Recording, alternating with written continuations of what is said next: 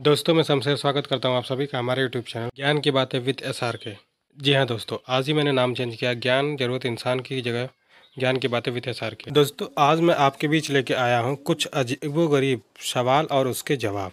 ये सारे क्वेश्चन दोस्तों आईएएस के एग्ज़ाम में पूछे जा चुके हैं। इन पच्चीस क्वेश्चन में से आप कितना खुद से हल कर पाते हैं दोस्तों, ये कमेंट बॉक्स में कमेंट करके ज़रूर बताइएगा।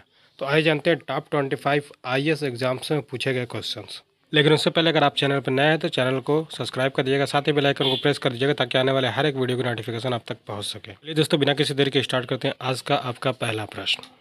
आपका पहला सवाल है, एक आदमी को मौत की सज़ा मिली, उसे तीन कमरे दिखाए गए। पहले कमरे में आग लगी है, दूसरी में राइफल लिए एक हत्यारा है, तीसरे में टाइगर है, जो तीन साल से खाना नहीं खाया है। उसे क्या चुनना चाहिए? आज के सारे क्वेश्चन दोस्तों काफ़ी महत्वपूर्ण और काफ़ी मज़ेदार हैं। तो ध्यान से इस क्लास को अटेंड करिएगा। तो आइए जानते हैं इसका सही जवाब। आपका सही जवाब हो जाएगा दोस्तों तीसरे नंबर का कमरा। क्यों? क्योंकि तीन साल से भूखा टाइगर अब तक मर चुका होगा। आपका दूसरा प्रश्न है, एक कैंडिडेट से रीजनिंग वाले सवाल भी पूछे गए। केवल दो का यूज़ करके तेईस कैसे लिख सकते हैं? काफ़ी महत्वपूर्ण क्वेश्चन है दोस्तों, लेकिन काफ़ी इजी भी है, क्योंकि आपने पाँच छः में पढ़ा होगा ये सब चीज़ें। तो आपका सही जवाब हो जाएगा बाईस प्लस दो बाई दो। अब चूँकि यहाँ पे दोस्तों सिर्फ़ दो और दो दिख रहा है, उसके अलावा कोई और तीसरा शब्द नहीं है। तो दो बाई दो से कट के एक हो जाएगा तो बाईस प्लस एक इसकल टू तेईस। ये आपका सही आंसर हो जाएगा।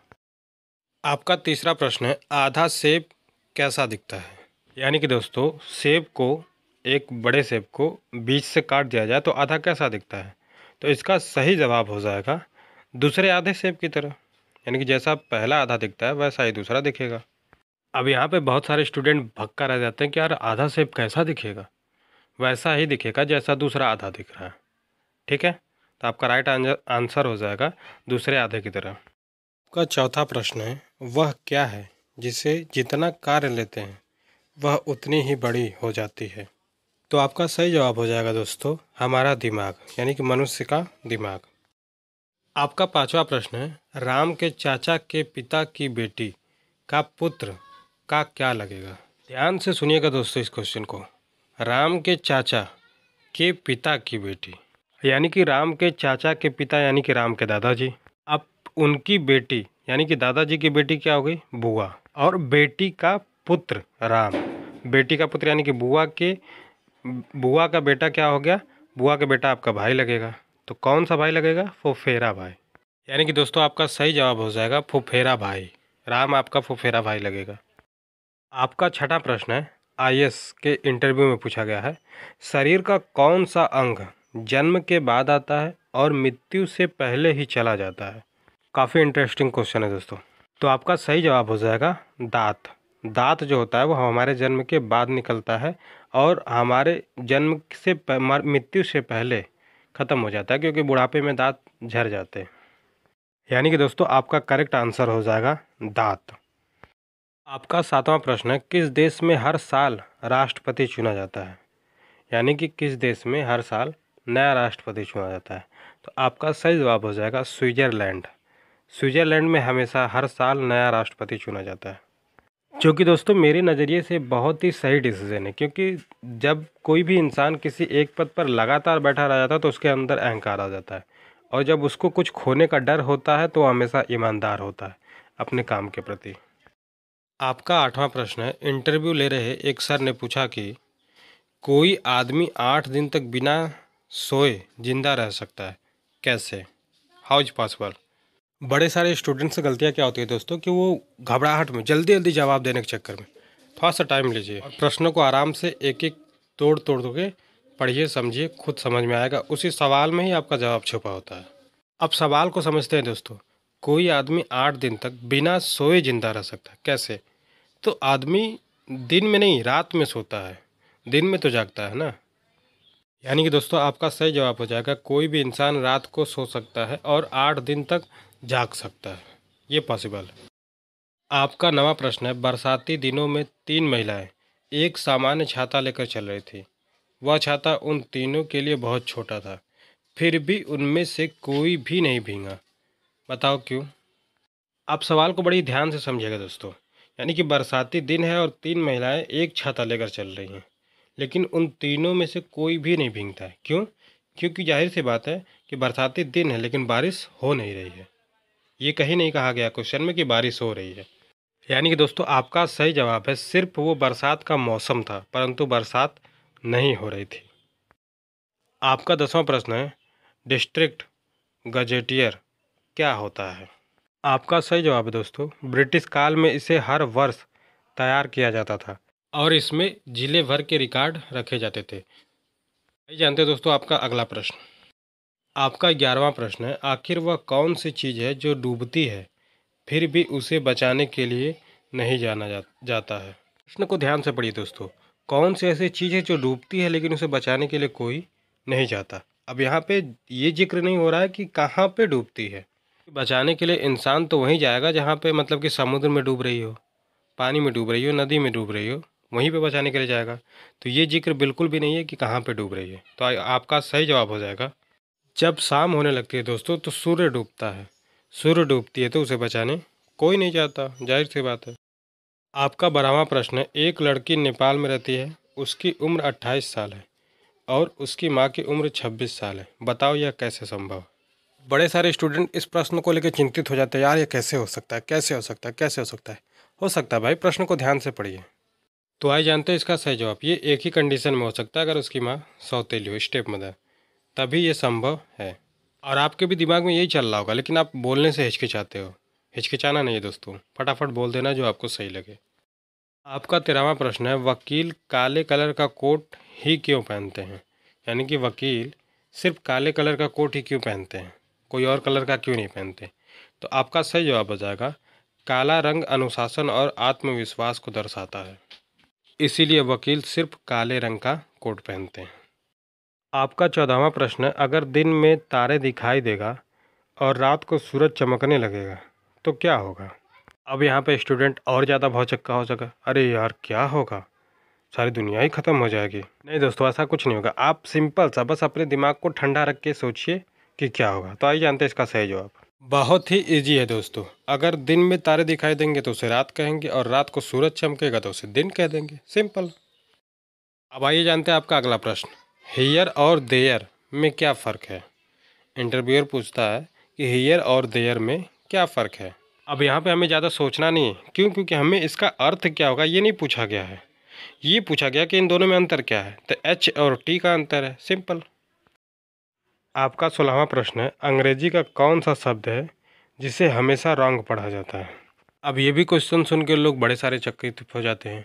क्या ऐसा क्या है, ऐसा क्या हम ज़्यादा सोचने लगते हैं। जैसे सोचना ज़्यादा नहीं है, बस सब क्वेश्चन को आप समझिए, ज़्यादा सोचिए मत इधर उधर की बातें मत सोचिए। बस क्वेश्चन को ठीक तरीके से पढ़िए, एक बार नहीं, दो बार, तीन बार पढ़िए, आपको उसी में जवाब मिल जाएगा। अब जैसे क्वेश्चन को पढ़िए, क्या है कि अंग्रेज़ी का कौन सा शब्द है जिससे हमेशा रंग पढ़ा जाता है? तो रंग ही है। रंग को हमेशा रंग ही तो पढ़ा जाता है राइट नहीं पढ़ा जाता। तो आपका सही जवाब क्या हो जाएगा? रंग। आपका सत्रहवा प्रश्न है, माइकल के पिताजी के तीन पुत्र हैं। जिनमें से दो का नाम मई और जून है तो तीसरे पुत्र का क्या नाम होगा? अब बड़े सारे स्टूडेंट महीने का सोचने लगेंगे, अरे यार अप्रैल होगा, नहीं तो जून होगा, और क्या हो सकता है? ऐसा बिल्कुल भी नहीं दोस्तों। आप पहले क्वेश्चन को पढ़िए। माइकल के पिताजी के तीन पुत्र हैं। तीन पुत्र यानी कि एक माइकल हो गया और बाकी बचे दो लोग। तो जिनमें से दो का नाम मई और जून है। बाकी दो का नाम अगर मई और जून है तो उसमें से बचा क्या? माइकल ही तो बचा तीसरा पुत्र। दोस्तों, आपका सही जवाब क्या हो जाएगा? तीसरे पुत्र का नाम माइकल है। आपका अठारहवा प्रश्न है, वह कौन सा चीज़ है जिसे खाने के लिए खरीदा जाता है परंतु खाया नहीं जाता? अब इस क्वेश्चन को ध्यान से पढ़िएगा, एक बार नहीं, दो बार पढ़िएगा। वह कौन सा ऐसा चीज़ है जिसे खरीदने, खाने के लिए खरीदा जाता है, लेकिन खाया नहीं जानता? तो आपका सही जवाब क्या हो जाएगा? प्लेट। जी हाँ दोस्तों, प्लेट। प्लेट को हम खरीदते हैं खाने के लिए, उसमें खाना रख के खाया जाता है, लेकिन प्लेट को कभी खाते नहीं हैं। आपका उन्नीसवा प्रश्न है, आपके पास एक विकल्प है। पहला कमरा में आग लगी हुई है, दूसरे कमरे में पाँच हथियार बंदूक लिए हुए हैं, तीसरे कमरे में एक शेर एक महीने से भूखा है। बताइए आप कौन कमरे में जाना चाहेंगे? ऐसे क्वेश्चन मैंने आपको पहले ही हल करके बताए थे। पहले क्वेश्चन को समझिए। एक कमरे में आग लगी है, दूसरे में हथियारे खड़े हैं, बंदूक लेके तो तीसरे कमरे में शेर है और शेर एक महीने से भूखा। एक महीने तक भूखा कैसे रह सकता है? मरी जाएगा ना। क्योंकि दोस्तों, शेर दो हफ़्ते से ज़्यादा बिना खाए पिए रह ही नहीं सकता। आपका बीसवा प्रश्न है, अगर कोई पुरुष आपके साथ ऑफ़िस में सेल्फी लेना चाहे तो आप क्या करोगे? यानी कि दोस्तों, एक महिला से सवाल पूछा जा रहा है कि अगर ऑफ़िस में आपके साथ कोई सेल्फी लेना चाहे तो आप क्या करोगे क्या? अब उसके लिए सही जवाब यही होगा दोस्तों, क्योंकि ऑफ़िस का ज़िक्र नहीं हुआ कि किस ऑफ़िस में की बात की जा रही है। आपका सही जवाब यही हो जाएगा कि ट्रेनिंग के दौरान बताया जाएगा कि हमें इस सिचुएशन में करना क्या है। आपका इक्कीसवा प्रश्न है, वह कौन सा फूल है जो बारह साल में एक बार खिलता है? यानी कि बारह साल में सिर्फ़ एक बार खुल, खिलता है, वह कौन सा फूल है? आपका सही जवाब हो जाएगा नील कुरंजी कुरिंजी नामक फूल। नील कुरुंजी एक पौधा है दोस्तों, जो भारत के दक्षिण तटीय क्षेत्र में विस्तारित है। इसमें 12 साल में सिर्फ़ एक ही बार फूल खिलता है। आइए जानते हैं दोस्तों आपके अगले प्रश्न के बारे में। आपका बाईसवां प्रश्न है, कौन से सागर में एक भी मछली नहीं पाई जाती है? यानी कि दोस्तों, ऐसा भी एक सागर है जिसमें एक भी मछली नहीं पाई जाती है। तो आइए जानते हैं इसका सही जवाब। मृत सागर डेट से में एक भी मछली नहीं पाई जाती दोस्तों, क्योंकि यहाँ का पानी जो है अत्यंत खारा है, परंतु जीवाणु पाए जाते हैं। यह सागर, जॉर्डन और इसराइल के बीच मौजूद है। आपका तेईसवा प्रश्न है, शरीर का ऐसा कौन सा हिस्सा है जिसमें खून नहीं पाया जाता है? यानी कि दोस्तों, बॉडी में पूरे शरीर में एक ऐसा भी हिस्सा है जहाँ पे खून बिल्कुल भी नहीं पाया जाता। है आपका सही जवाब हो जाएगा कार्निया। हमारे शरीर का वह भाग है जहाँ खून की मात्रा नहीं होती है। आपका चौबीसवां प्रश्न है, भारत में रात और दिन कब बराबर होते हैं? यानी कि दोस्तों, एक ऐसा भी समय आता है जब इंडिया में रात और दिन दोनों बराबर हो जाते हैं। आपका सही जवाब है, जब दिन और रात एक समान हो जाते हैं तो उसे इक्विनोक्स कहते हैं। ऐसा इंडिया में दोस्तों दो बार होता है। 20 से 21 मार्च तक और 22 से 23 सितंबर को। दो, तारीख ऐसी है दोस्तों, जब दिन और रात दोनों इंडिया में बराबर हो जाते हैं। आपका पच्चीसवां प्रश्न है, एक शहर में रात के समय तीन जगहों पर एक ही समय में आग लग गई। पहला, स्कूल में, दूसरा, मंदिर में और तीसरा, हॉस्पिटल में। तो बताइए, फायर ब्रिगेड की गाड़ी सबसे पहले कहाँ आग बुझाएगी? अब यहाँ घबराने की कोई बात नहीं दोस्तों, पहले क्वेश्चन को ध्यान से पढ़ना है। शहर में रात के समय में तीन जगहों पे आग लगी थी। कहाँ कहाँ? स्कूल में, मंदिर में और हॉस्पिटल में। तो रात के समय में स्कूल और हॉस्पिटल और मंदिर। तो स्कूल और मंदिर तो बंद ही रहते हैं। तो रात के समय में खुला क्या रहेगा? हॉस्पिटल और जिसमें मरीज़ भी होते हैं, जबकि स्कूल और मंदिर रात में खाली होते हैं। यानी कि दोस्तों, आपका सही जवाब हो जाएगा, हॉस्पिटल। तो सबसे पहले फायर ब्रिगेड कहाँ जाएगी? हॉस्पिटल में जाएगी। उसके बाद उन दो जगहों पे जाएगी। तो आज की वीडियो कैसी लगी दोस्त? ये कमेंट बॉक्स में कमेंट करके ज़रूर बताइएगा और वीडियो अच्छी लगी तो एक लाइक कर दीजिएगा, साथ ही चैनल को सब्सक्राइब कर दीजिएगा ताकि आने वाले हर एक वीडियो की नोटिफिकेशन आप तक पहुँच सके। तो आज की वीडियो में बस इतना है दोस्तों, मिलते हैं आपसे नेक्स्ट वीडियो में और भी अच्छी और नई जानकारी के साथ, तब तक के लिए गुड बाय